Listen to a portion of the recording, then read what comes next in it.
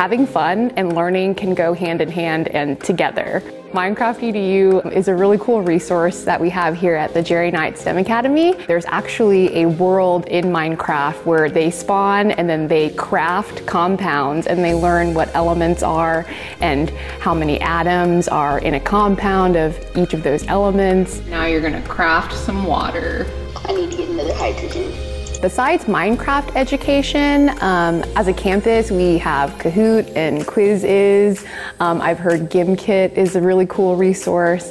Gaming education is kind of the new thing where you can capture their attention and then pairing it with science as a subject or English or history having that virtual learning aspect and having them create their avatar and what they look like and share their worlds with other learners and create content that's not just a piece of paper. It's a lot more engaging, a lot more fun that way. It spurs and sparks that conversation that sometimes learners are missing out, especially in virtual learning.